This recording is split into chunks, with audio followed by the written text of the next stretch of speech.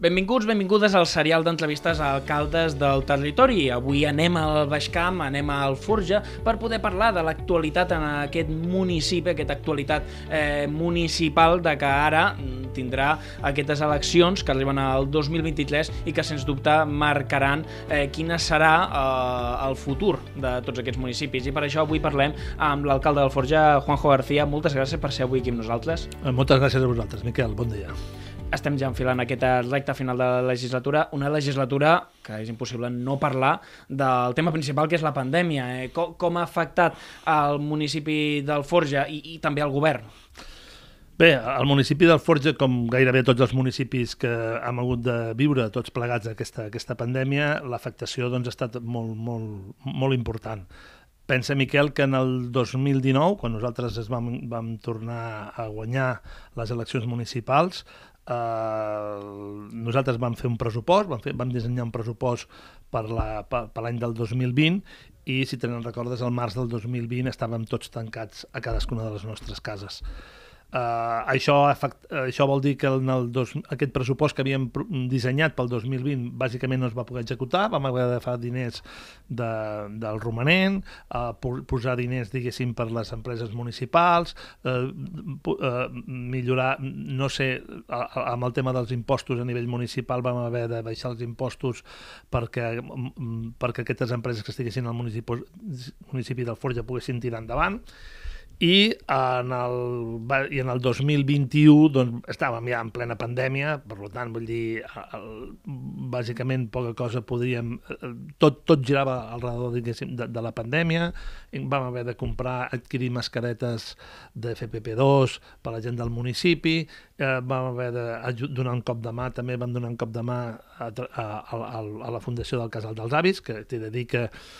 sempre ho han portat molt bé al tema de la pandèmia, hi va haver uns controls exhaustius d'accés a, les, a les residències i això va portar doncs, que la primera, la, al començament de la pandèmia l'afectació al municipi del Forges fos relativament baixa Uh, i quan aquesta afectació sí que va ser perquè per, per les noves variants que van sur sorgir doncs ja hi havia la gent de risc ja estava vacunada per tant l'impacte de mortalitat va ser, gràcies a Déu va ser mínim i el, el que realment nosaltres des d'aquí doncs, la feina de la fe de la Fundació que era el, del Casal dels Avis que era la, diguéssim, el, el lloc que podria impactar més doncs la seva feina va ser excel·lent, excel·lent en aquest cas Uh -huh. I per aquests pressupostos que no van poder ser com se volien en aquest 2019, aquest do, inici de la legislatura, això com ha afectat els plans de govern per a aquesta legislatura? Bé, nosaltres, en el, nosaltres quan vam fer el, la programació dels pressupostos del 2019 cap al 2020, nosaltres doncs, volíem fer una sèrie d'inversions i una sèrie de projectes que es volguessin tirar endavant. Un, un d'ells, que crec que era l'any 2020 que es volien tirar endavant, eh, que, era, que ja, ja el teníem programat, va ser el que seria la llar d'infants. La llar d'infants es, va, es va fer en l'any 2020. Durant l'any 2020, una inversió de mm, uns 400.000 euros ens ha,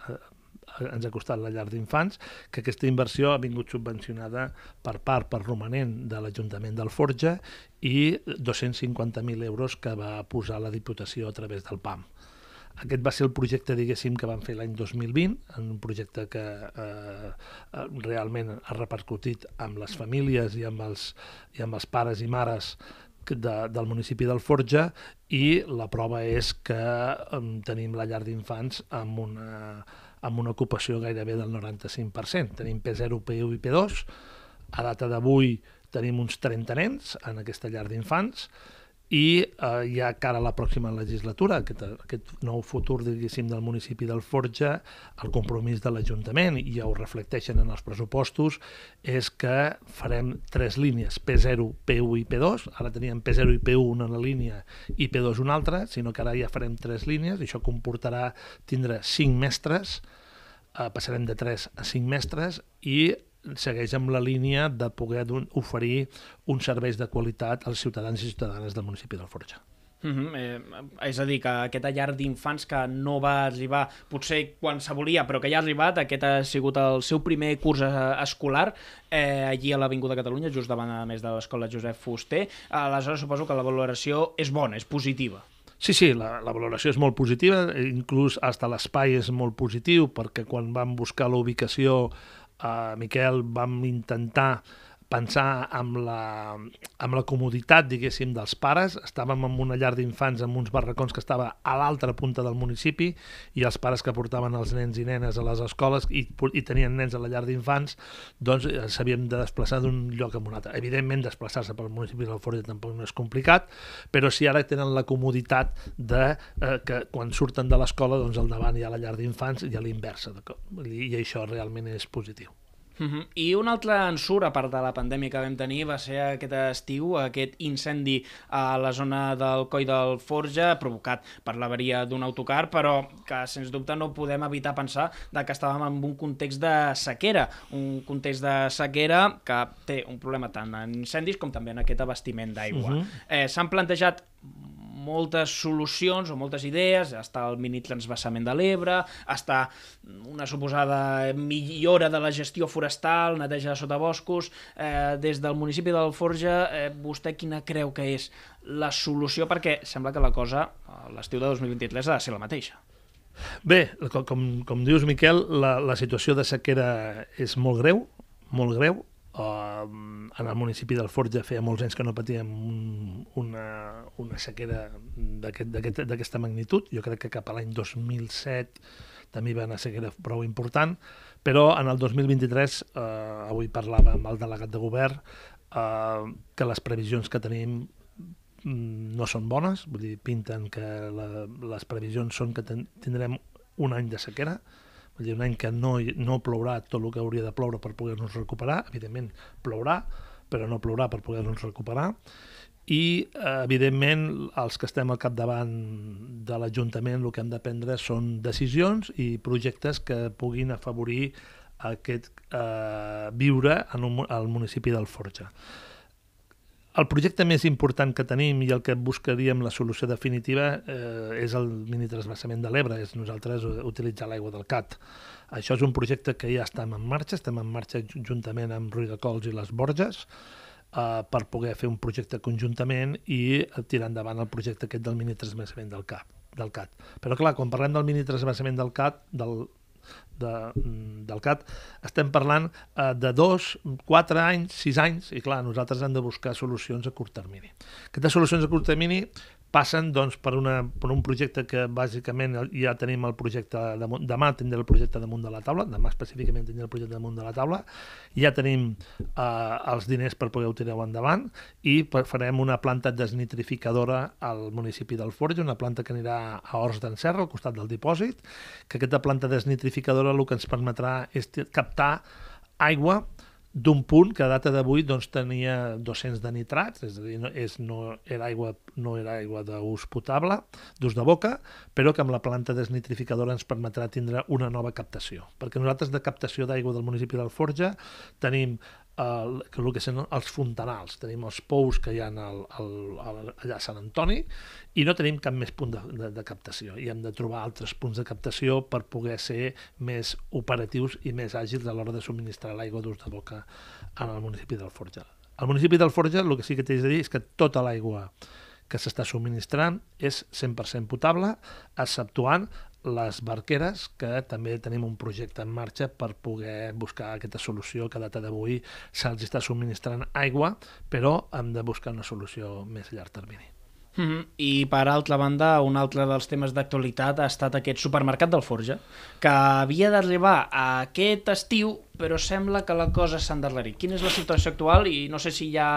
algun termini ara mateix? Bé, la, la, el supermercat del Forja, que és l'empresa Fragadís, que és el que està interessat, que bàsica, ja té, ja té, ell ja té, un, ja té un contracte fet amb el, amb el propietari, que és el, on, on hi havia el Josep Maria Miralles, eh, ells ja tenen un acord mm, privat, ja estan pagant, estan pagant actualment el lloguer d'aquella nau, i l'únic que s'està endarrerint bàsicament és per un tema de replantejar el supermercat amb el que són les dimensions inicials. Això és degut Uh, ho estem acabant de replantejar, ells han fet alguna proposta, ho, ho estem acabant d'estudiar nosaltres també, aquesta proposta, perquè uh, la, la solució sigui una solució de consens, per descomptat, i ells el que busquen, evidentment, els costos de construcció de fa 3 anys cap aquí, que tenien el projecte de fa 3 anys cap aquí, doncs ara bàsicament se'ls ha doblat, i doblar, i quan parlem d'un supermercat d'aquestes dimensions, doncs eh, evidentment l'explotador d'aquest supermercat també mira les amortitzacions d'aquestes inversions. Però el supermercat hi serà, eh, no és un tema de que no hi vulgui ser el supermercat, sinó és un tema de redimensionar.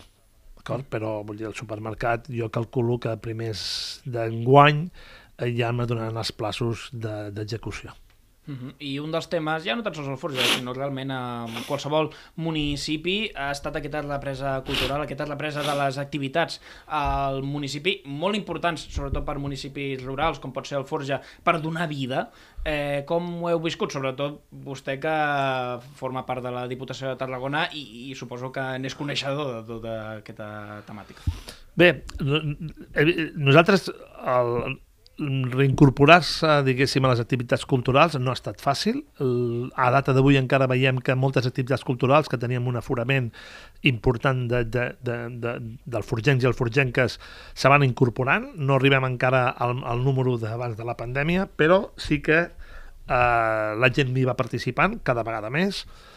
Ara tenim un altre, aquest, aquest cap de setmana tenim, una, tenim la marató. Nosaltres el tema de l'activitat de la marató aquest cap de setmana per nosaltres és una de les activitats importants del municipi. La gent del Forge participa moltíssim amb la Marató, ve participant durant tot l'any i aquest cap de setmana doncs, serà un cap de setmana aquest cap de setmana del 15, 16 i 17, divendres, dissabte i diumenge, o crec que és 16, 17 i 18, eh, aquest cap de setmana doncs, és un cap de setmana doncs, que la gent del Forge doncs, ens retrobarem, que és important retrobar-nos tots plegats, hi haurà un dinar, hi haurà un bingo, hi haurà una, una doctora que explicarà el tema, del, de, de, de, el tema que enguany envolta la, la marató. I després eh, doncs eh, el que fem és eh, també hi haurà el dissabte crec que hi ha una obra de teatre que ve una obra de teatre que ve la sala Trono d'aquí de Tarragona que fan una obra de teatre a les 7 de la tarda o a les 6 o a les 7 de la tarda no sé exactament però crec que és a les 6 de la tarda o a les 7 i la veritat és que eh, la gent se van incorporant. I des de la Diputació, com tu bé comentes, Miquel, jo sóc el diputat de Cultura de la Diputació, nosaltres des de la Diputació eh, amb aquesta pandèmia hem apostat molt per la cultura, hem, impulsat, hem impulsat projectes a nivell a nivell d'ajuntaments amb activitats culturals. La Diputació ha, sub, ha participat en unes línies de subvenció amb concurrència competitiva pels municipis, amb un total de 2 milions d'euros per, per, per finançar activitats culturals. A les entitats també hi han fet una línia de subvenció d'activitats culturals i també una línia d'inversió cultural que també han fet els ajuntaments i, a més a més, una de les línies que també tenim des de la Diputació és la que seria la línia de subvencions a les empreses del món cultural, amb un import d'un milió 650.000 euros, que realment és prou, prou important. Total, en l'any 2022 han posat a disposar d'ajuntaments, entitats i, les, i el que seria també entitats esportives, les socials i, les, i, i el que serien les empreses de, del món cultural han posat a, a disposició del, del Camp de Tarragona al voltant de 17 milions d'euros. Uh -huh. I un altre dels temes a tractar també en els municipis és el fet de treballar perquè els municipis que tinguin, perquè tinguin una continuïtat de que siguin atractius pe, pel jovent, que el jovent s'hi vulgui quedar-se, qui, qui hagi crescut al poble, que decideixi seguir fent eh, la seva vida allí al poble, o fins i tot que gent vingui a viure al poble. Eh, I aleshores els municipis se troben amb una certa problemàtica per ser oferir els mateixos serveis que una ciutat com pot ser Reus, per parlar d'una així propera al Forja, oferir els mateixos serveis, tenir els mateixos equipaments, això, això com es treballa des d'allí al Forja? Bé, nosaltres mai mai mai s'han plantejat oferir els mateixos serveis que Reus, perquè bàsicament Reus és la capital del Baix Camp i si jo eh, seria molt agogerat per part meva de poder fer això. Però el que sí que fem, i això és una cosa que sí que vinc des de, des de, des de que vaig prendre posició com a a, com a alcalde del Forja a l'any a l'any 2011, quan vaig prendre possessió com, com a alcalde del Forja, un dels meus objectius és que fer del Forja una ciutat atractiva, una, atractiva per poder viure. I això és evident que ho estem aconseguint, ho estem aconseguint perquè evidentment la, la pandèmia ens ha ajudat, això per descomptat no només al municipi del Forja, sinó a molts municipis, però clar, t'ajuda si tens els serveis per poder oferir. Nosaltres estem treballant, nosaltres ja tenim el que és la part, avui parlava amb alguns veïns de, de l'entorn, nosaltres tenim la fibra òptica, tenim una llar d'infants, tenim uns espais esportius eh, de, de primer ordre, tenim, eh, tenim una massa social important a nivell de, de, de, de lo que seria eh, cultural, tenim l'Ateneu, tenim els gegants, tenim els diables, vull dir, tenim eh, tenim el que seria tot allò que un, la gent jove ve a buscar per poder viure. Vivim en un poble relativament tranquil, a vegades pues, tenim algun ensurt, però vivim en un poble relativament tranquil, a 10 minuts d'una gran ciutat com és Reus, i eh, el que busquem doncs, és eh, millorar el, els serveis que nosaltres puguem, volem donar a, a la gent del nostre municipi i crec que ho anem aconseguint i la prova és que nosaltres enguany ja passarem de 2.000 habitants, estem parlant de tenim 2.000, eh, ja som segon, segon, estadísticament estem amb 2.060 habitants per tant eh, vam, hem estat ja, som, un, eh, som un poble que té un creixement vegetatiu positiu i eh, cada dia que va passant doncs, cada vegada doncs, ve més gent a viure al nostre municipi. Uh -huh. Parlaves de totes aquestes entitats, de la colla gegantera, de Diables. També, per exemple, estaria l'Associació de Joves que en moltes ocasions, junt amb l'Ajuntament, ha fet una feina important també per donar activitats al municipi, encara que de vegades costa coordinar-se, però com valores aquesta rellevància d'aquestes entitats per aconseguir donar més activitat en el municipi?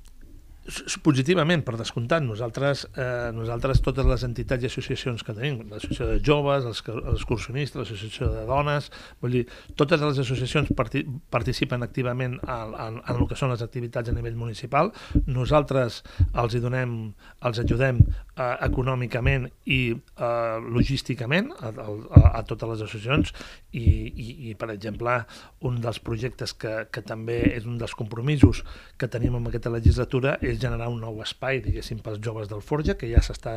ja s'està començant a, a ja s'està treballant no? i ja tenim les obres en marxa, que seria al darrere del pavelló, l'antic pavelló on estava la brigada, i ja s'està construint i creiem que abans del maig del 2023 dic més del 2023 perquè estic convençut que hem de fer-ho abans perquè una de la part d'aquestes obres la subvenciona la Diputació. I si no la tinc abans del mes del 2023 doncs aquesta, aquesta subvenció em cauria d'acord? Per tant, l'objectiu és tindre-ho abans del mes del 2023 Uh, llavors aquest espai serà un espai que és un compromís des de l'Ajuntament que portem molts anys treballant-ho pels joves del Forja perquè creiem que han d'entendre un espai propi. I uh, abans vull dir, i en l'any 2023 això serà una realitat